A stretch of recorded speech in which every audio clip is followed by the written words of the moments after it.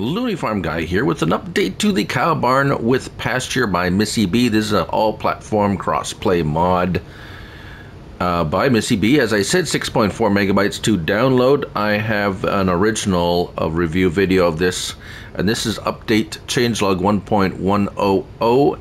She has added straw plane to define bale trigger area. Now, if I recall, I had a problem with trying to get bales to be accepted uh, in this um, in this barn, and she has now added a little, um, well, a spot here that has some straw on the ground to show where the bales go.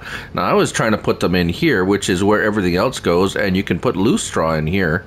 However, now apparently, although never she has never commented on any of my videos or anything I'm going to just assume that she watched my video and said, oh, they don't know where the bales go.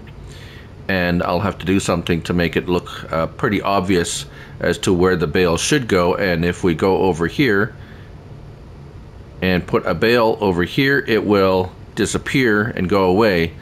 So the straw bales go here. As for the, um, and so as you can see, the straw is starting to appear here.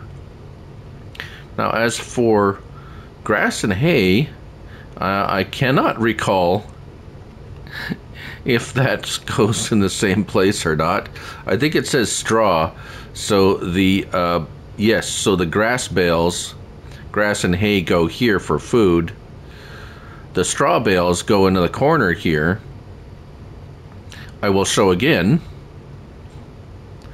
Now that, that any straw bale or bale will work. If one kind of bale, I just have the liftable round bales, but if uh, if these work, then any square round size bales will work. So there you go. That's the update to the cow barn with pasture. Very nice by Missy B.